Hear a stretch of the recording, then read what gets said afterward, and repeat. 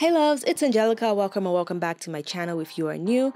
Today we are doing my nighttime skincare routine and I'm just putting on this band so that it can stop any products from going all over my hair.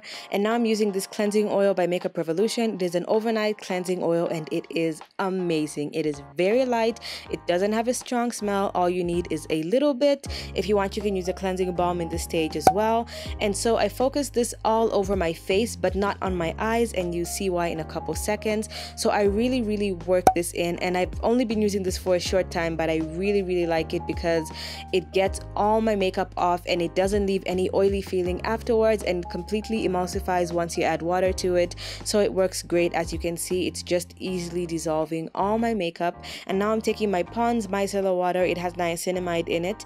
And now I'm just taking my q-tip and I'm soaking that in and running it along my lash line very slowly. And this is just to break up the glue underneath my false lashes. I know it's very tempting to just rip off your false lashes because they come off pretty easily, but this can damage your lash line and also your eyelashes. So you want to make sure that you actually melt the glue off before you tip take off or rip off your eyelashes. So anywhere where it feels a little stuck, you just want to add a little bit more and go ahead and take it off. I went ahead and did the same thing on the other side and I don't put the oil on my lashes because Oils can sometimes damage false lashes. Now I'm taking my little square cotton pad. I just feel like they're way more bougie than the round ones. And I go ahead and put that on my eye and just let it sit for a couple seconds. This dissolves all my mascara, any leftover glue. Then I also run it over my eyebrow because I usually put soap on my brows and I don't like soap to go on my face. So I go ahead and dissolve that as well. Know that this is also my exfoliation day. Some days I use retinol, some days it's just more of a hydrating day. So if you'd like to see my nighttime skincare routine on a different day, you can let me know and I'll definitely share that. So I went ahead and washed that and now it's time to cleanse with the La Roche-Posay Hydrating Gentle Cleanser and this one is sulfate free, soap free, fragrance free. It has ceramides, niacinamide, and the classic prebiotic thermal, thermal water that La Roche-Posay loves to use. I love this cleanser. It is very gentle. It gets all my makeup off. I like to massage it in for like a full minute just so I can get the benefits of the ceramides and the niacinamide. Also give my face a little massage and make sure that everything is perfectly off my face. This is safe to use over your eyes as well. It is not stinging or anything. Your face just feels amazing and as you can see my face is completely clean. Now I'm just patting my face dry with a microfiber face cloth. If this was not an exfoliation day I would move straight to my hydrating stage and I would not pat my skin dry. So straight into exfoliating I'll be using my Paula's Choice Skin Perfecting 2% BHA liquid exfoliant. This contains salicylic acid. It helps unclog large pores, smooths and evens out the skin tone. It is is really lightweight, it absorbs really quickly.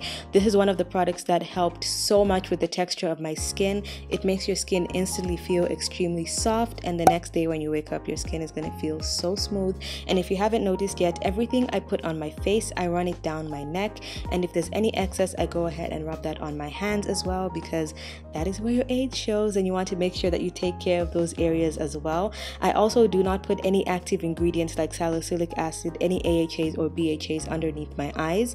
Here I'm using my Kylie Skin Eye Cream and this one is a very nice brightening eye cream and it contains some vitamin C and I just pat that underneath my eyes. As you see I don't rub. You want to be very gentle under your eyes. So I go ahead and pat that in and then just put it all around my orbital bone. You don't want to put this close to your lash line because it is a cream and it is going to travel and get to those areas.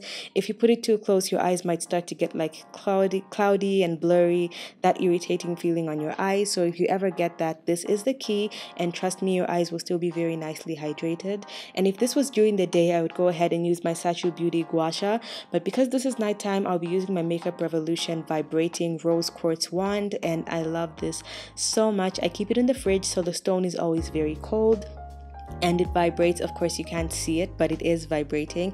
And i just run that along underneath my eye and then once it it's once it feel nice once everything feels nice and blended in, I go ahead and put it on my forehead, in the middle of my forehead, and also like on the bridge of my nose.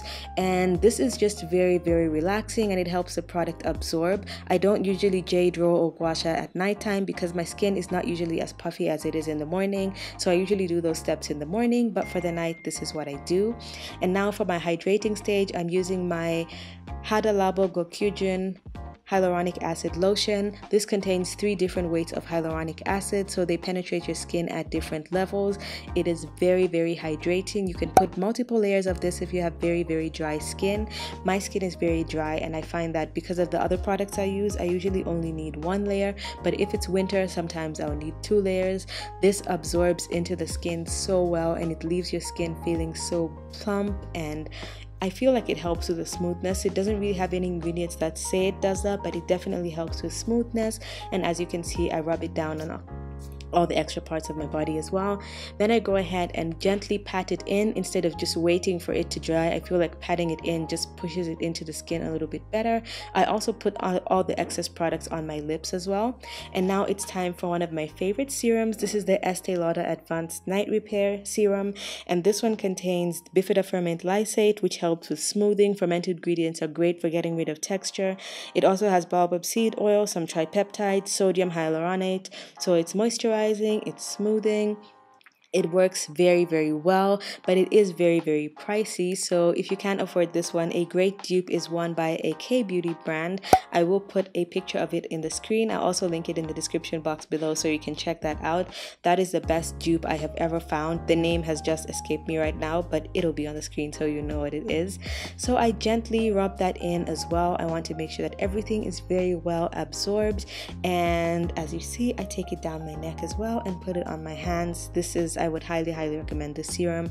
And now for my moisturizer, I'm using the CeraVe Moisturizing Cream. This is very thick, very moisturizing. If you don't have dry skin like me, I'd suggest you use the other one that comes in a pump because that one is much more light and I think it would not clog your pores or feel heavy or oily on your skin. This one I would only suggest if you have very very dry skin like me so this is a and as you can see, I mix high end and low end um, products all the time because certain things are worth spending the extra money on and certain things are just really not like cleansers. I really don't think you have to spend so much on cleansers. Just get what you need. And if you want to see my routine on a different day when i use retinols or when it's just more of a hydrating day you can let me know and i'll definitely post that. Right now i'm hydrating my lips with this revolution overnight lip mask and I actually cannot sleep with masks on my lips, but I love this one. I put it on at least an hour before bed so that it can completely sink into my lips. And I know it looks a little scary. It's a little white, but after like two minutes, it completely absorbs into the lips and you can't see it at all. Before bed, I just wipe it off my lips. And when I wake up in the morning, my lips are still nice and hydrated. Thank you so much for watching. Hit my face on the side of the screen to subscribe if you didn't in the beginning. Watch the two videos on the side of the screen. I'll see you guys in my next one. Bye.